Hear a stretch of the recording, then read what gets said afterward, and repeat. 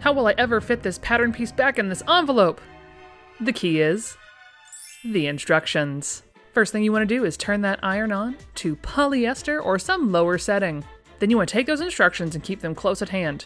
I like to put them right by the foot of the pattern piece and kind of fold it up to see exactly how those old fold lines want to go back the way they were. Now once you've got it all laid flat, you do want to run that iron over once just to really define which lines this pattern piece wants to follow. In this case, mine became very clear.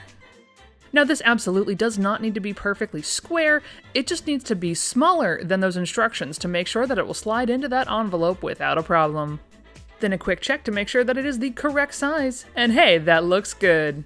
Then we're going to take all of those pattern pieces that magically appeared and tuck them right back into the envelope. And job accomplished.